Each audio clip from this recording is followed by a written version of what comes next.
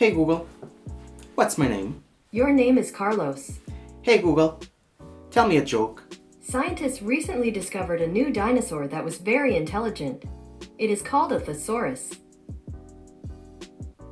Hey Google, tell me a knock knock joke. Sure. Knock knock. Who's there? Al. How who? I'll be back.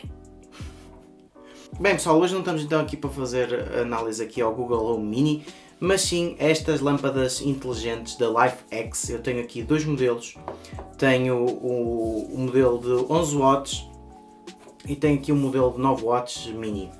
Enquanto que o modelo de 11 watts é equivalente a 75 watts normais, tem 1100 uh, lumens, o modelo Mini tem 800 lumens e é o equivalente a uma lâmpada de 60 watts.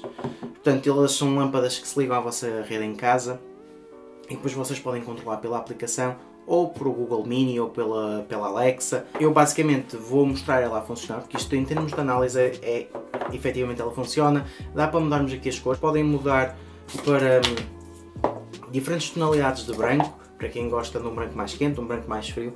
Como podem ver, a maior de 11 watts é este formato que tem e depois a mais pequena é esta que está aqui. Eu coloquei aqui um candeeiro um bocado improvisado para vos poder mostrar só a funcionar, eh, mas só para exemplificar. Hey Google, turn on kids light. Okay, como podem ver- kids on. Já ligou. Eu- esta, esta lâmpada é que eu tenho configurada no, no quarto dos meus filhos e esta tenho configurada no meu, portanto esta chama-se Kids, esta chama-se Main. Eh, portanto eu vou mostrar se calhar eh, esta a funcionar aqui através do Google Home, só para verem como é que ela funciona e depois vou mostrar esta pela aplicação. Hey Google, change the light to red. Sure, changing the kids to red. It looks like the main isn't available. Hey Google, change kids light to blue. You got it, changing the kids to blue. Hey Google, change the kids light to purple. Sure, changing the kids to purple. Hey Google, change the kids light to green. Okay, changing the kids to green. Hey Google, change the light to white. You got it, changing the kids to white. Portanto, basicamente o que nós podemos fazer é isto, é mudar a cor da, da luz. Podemos desligar e ligar. Hey Google, turn off the light. Sure, turning off the kids. It looks like the main isn't available right now. Hey Google, turn on the light. Okay, turning the kids on.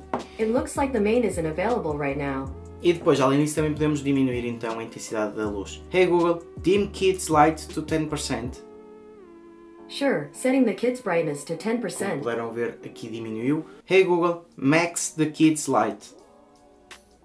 You got it, setting the kids' brightness to 100%. E pronto, basicamente com o Google o que nós podemos fazer assim remotamente através da voz é dizermos para desligar, para ligar, para diminuir a intensidade e para mudar as cores.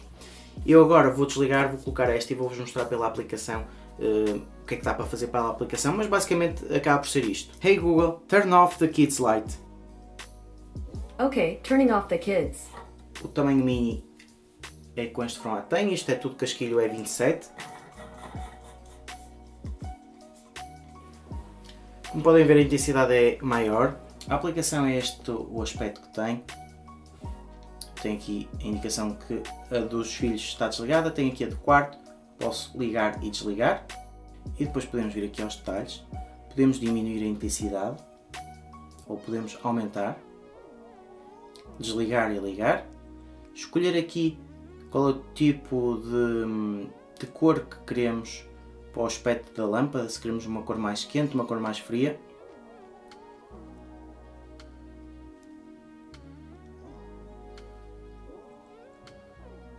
Podemos depois também escolher a, a cor.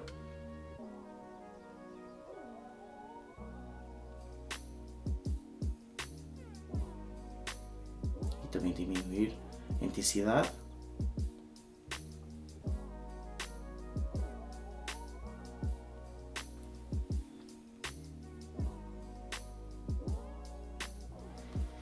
E depois além disso, podemos nós criar aqui temas.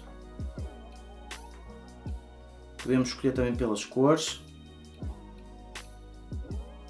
Depois temos alguns efeitos em que a luz vai cintilar, modos aleatórios. Portanto, temos aqui alguns modos para experimentarmos. E depois ainda temos aqui uma definição em que podemos dizer quando é que a luz quando é que queremos que seja considerado noite e dia e ele vai ajustando também a intensidade da cor e a, e a própria cor e depois podemos definir que queremos uma luz noturna ou diurna.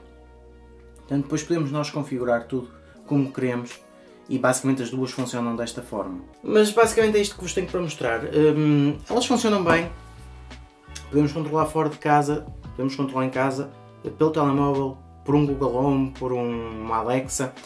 Aqui o que vos posso é que é assim, o único defeito que existe em relação a estas lâmpadas é que elas para funcionar têm que estar sempre ligadas à, energia. E se vocês colocarem isto no, nos candeeiros de teto, eh, por norma o que é que acontece? Se vocês desligarem remotamente, ela em termos de interruptor está ligada. Portanto, se vocês não se lembram de mandá-la ligar ou desligar através de um, de um assistente de voz ou pela aplicação do telemóvel, o que é que vai acontecer? Quando chegam ao quarto onde tem a, a lâmpada, se a desligaram remotamente, quando carregam no interruptor, basicamente estão a desligar mesmo o interruptor. Portanto, aí desligam a luz mesmo e depois carregam no interruptor para ligar. Portanto, se se esquecerem, quando têm um interruptor físico, invalida o interruptor físico. Ou seja, vocês têm que ter sempre o interruptor ligado e não se podem esquecer que se forem lá vão desligá-lo e depois voltam a ligar. Portanto, temos sempre aquela questão de carregamos no interruptor, a, luz estava desligada, carregamos no interruptor e a luz continua desligada e depois quando carregamos no interruptor é que realmente estamos a ligar e ela volta a ligar. E basicamente temos nos habituar a isso ou então colocar as lâmpadas realmente em sítios em que a gente nem tem acesso ao interruptor ou que não dá tanto jeito em eh, aceder ao interruptor e vamos sempre utilizar o telemóvel. Eh, mas pronto pessoal, é, é esta a demonstração que eu tenho para vocês. Isto também não existe em si muitos segredos.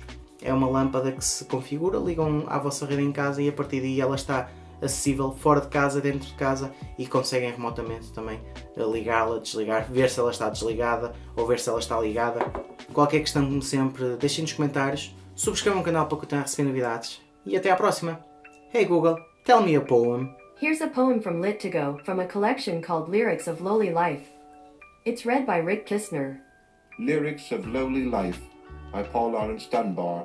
Why fades a dream? Why fades a dream, an iridescent ray flecking Hey, between stop. the tryst of night and day?